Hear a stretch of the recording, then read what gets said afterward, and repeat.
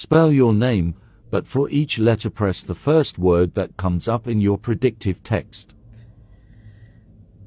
He is mine.